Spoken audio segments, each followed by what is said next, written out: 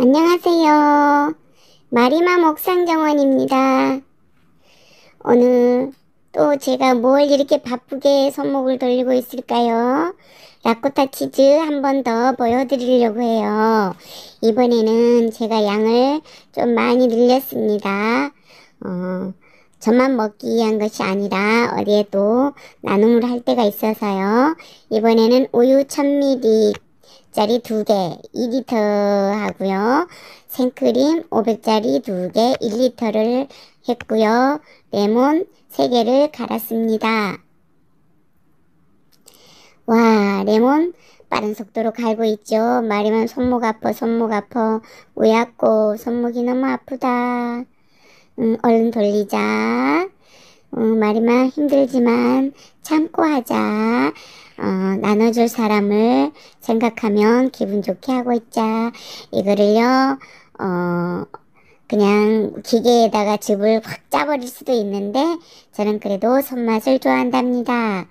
우유 2리터에 생크림 1리터를 섞어 놓고요. 소금 약간 넣은 후 제가 어, 레몬 생즙을 어, 지금 한 10숟가락 이상을 넣고 있어요. 어, 레몬 즙을 사서 쓸 수도 있어요. 마트 가면 있거든요. 근데 저는 항상 제가 직접 갈아서 이렇게 쓰고 있어요. 또, 이번에는 즙만 넣는 게 아니라, 레몬을 깨끗이 씻은 다음에 껍데기를 그것도 총총총총총총총 다지듯 해서 함께 넣어서 해보려고 해요. 식감이 아주 좋거든요. 그러면 씹는 식감도 있고 향긋하고요. 참 도전하는 데는 끝이 없는 것 같습니다. 레몬 향을 어, 더 향긋하게 내기 위해서 어, 레몬을 다져서 넣고요. 이제 슬슬 저어가면서 끓어오르기를 기다리면 됩니다.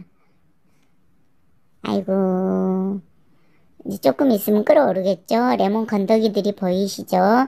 저게 씹으면 은근 기분이 좋아져요. 상큼해서. 직접 집에서 이렇게 치즈를 만들어서 써먹는다는 거. 어, 그렇다고 그게 엄청 복잡하냐 하면 복잡하지도 않아요.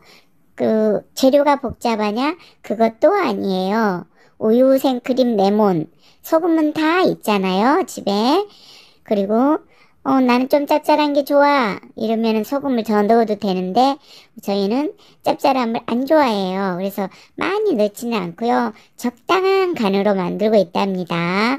다 이렇게 끌어올르고, 이제, 어, 할, 만들고, 면보에 싸고 한 후에, 어, 샐러드랑 섞어 먹어도 좋고요. 그냥 먹고 싶다. 꿀을 첨가해서 먹어보세요. 정말 맛있어요. 너무 많이 드시지 마세요. 배탈 나니까 유제품이라서. 근데 저는 많이 먹어도 또 배탈은 나지 않더라고요. 저는 꿀을 주로 많이 위에 뿌려서 먹곤 한답니다. 보이시죠? 이제 끓어오르는 거 방울이 퐁 퐁퐁 터져서 나오네요. 보글보글보글보글 오 끓기 시작한다. 멀지 않았다. 어, 어우 보글보글보글 끓어오르죠? 막 저럴 때 불을 약간 줄이고 한 20분 정도를 더 약불로 끓여주세요. 처음부터 너무 강한 불 쓰시지 마시고 끓어 넘칠 수도 있으니까 중불에서 약간 높게 끓이시다가 이렇게 어, 이런 식으로 끓어오르시면은요, 끓어오르면 그때는 더 약불로 해서 한 20분 동안 뜸들인다 생각하고 어, 놔두시면 됩니다. 계속 끓고 있죠. 시간이 얼마나 됐을까요? 똑딱 똑딱 똑딱 똑딱 많이 끓어오르고 있네요.